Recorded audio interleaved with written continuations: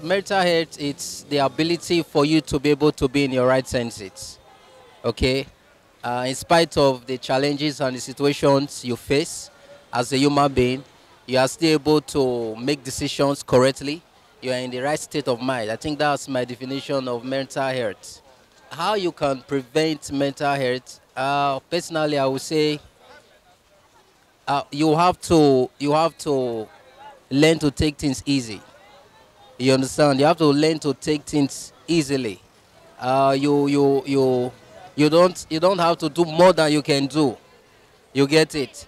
Uh, you, you you then you check yourself regularly. You check yourself regularly. You know the state of your your physiological being person. Then you know how to manage your mental health. Yeah. Me, I'm okay. I'm very, I'm, I'm very okay. I'm a driver. This is my motto.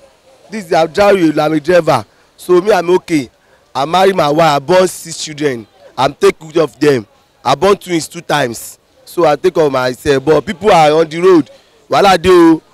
It's something that we all really need to look into, both for the male and females. It's really important to, you know, take care of your mental health and um, also take steps at which to take care of it. So there are a lot of steps. Um, one of which is eating right, sleeping right, um, having um, what would I call it? Um, quality conversations or quality time with family and friends, not secluding yourself.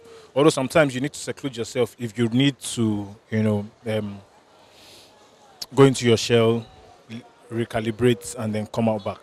Do you understand? I think when it's when somebody is upright, you know, the way you deal with things and you know you, your uh, you know approach towards things and all of that. You understand your positive reaction towards things. I think that's the best definition of mental health. Uh, mental health, as I said earlier, is uh, you know the right attitude of uh, you know mind and uh, impression of things. I think the best prevention is to be calm in you know everything you do, so that you don't get depressed. Mental health is a state of mind with your mental reasoning or mental faculties. Mental reasoning or mental faculty. So if you are talking about mental health, you have to talk about having the right state of mind, the right way of reasoning, and the right way of viewing things in the right perspective as well. To prevent mental health is to abstain from hard drugs, maybe alcohol, or if you have friends that influence you into having unstable mental health, then you can as well do away with those friends. The way we find ourselves in Nigeria now is um, is a funny state. So we are generally advised to shun drugs or anything that we make one to have an unstable uh, um, um, health situation or overthinking. Yeah, overthinking too can as well do away with it.